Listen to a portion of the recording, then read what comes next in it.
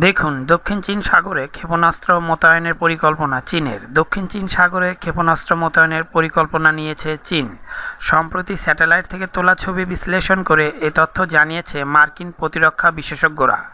খবর কলকাতা টোয়েন্টি ফোরে ছবিগুলোতে দেখা গেছে দক্ষিণ চীন সাগরের ফায়ারি ক্রস রিফে মোট বারোটি শক্ত ঘাঁটি রয়েছে। গত ফেব্রুয়ারিতে ছিল চারটি। ঘাঁটিগুলো থেকে ক্ষেপণাস্ত্র উৎক্ষেপণ সম্ভব। প্রত্যেকটি দ্বীপে রয়েছে র্যাডার সাগরে নতুন করে বিশেষ অবকাঠামো নির্মাণ করেছে চীন। সাগরের নিচে আন্ডার ওয়াটার অবজারভেশন সিস্টেম তৈরি করা হচ্ছে।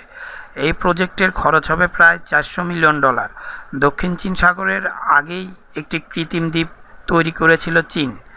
স্যাটেলাইটের ছবিতে এবার ধরা পড়েছে দক্ষিণ চীন সাগরের রানওয়ে এয়ারক্রাফট হ্যাঙ্গার রাডার ক্ষেপণাস্ত্র রাখার জায়গাও আছে। আমার এই চ্যানেল হতে আপনারা যদি আরও লেটেস্ট নিউজ পেতে চান, তাহলে অবশ্যই সাবস্ক্রাইবের মাধ্যমে আমার সঙ্গে থাকুন। ধন্যবাদ সবাইকে।